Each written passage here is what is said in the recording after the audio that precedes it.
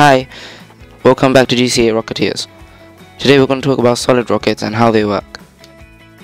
The difference between solid rockets and water rockets is that solid rockets use a motor and water rockets use water and compressed air.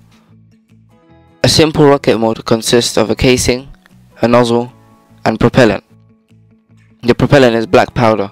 It also has an igniter. The motor is ignited using resistance wire. The resistance wire is coated with black powder so that it burns as it is ignited. This then sets off all the black powder inside the motor which then exhausts gas through a narrow nozzle. This provides thrust to the rocket allowing it to launch into the air. The rest of it is much like a water rocket. It launches into the air and then at a certain point all the black powder runs out, so it loses thrust. This then leads to the apogee which is the highest point the bottle gets. It then falls down to the ground due to gravity. Some solid rockets contain a parachute that is deployed when the rocket tilts down while coming back to the ground.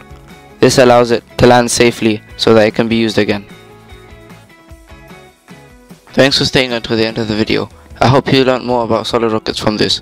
Please do leave a like and a comment and subscribe too. Again thanks for watching and I'll catch you in the next video. Bye bye.